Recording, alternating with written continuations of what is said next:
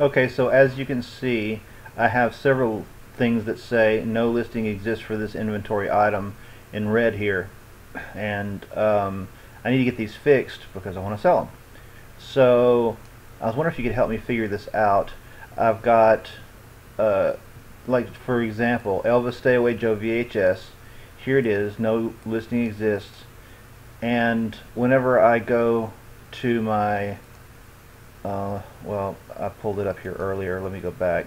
Here it says it's active right there. And this is how much I'm charging for it. I went into edit and then oh, here we go.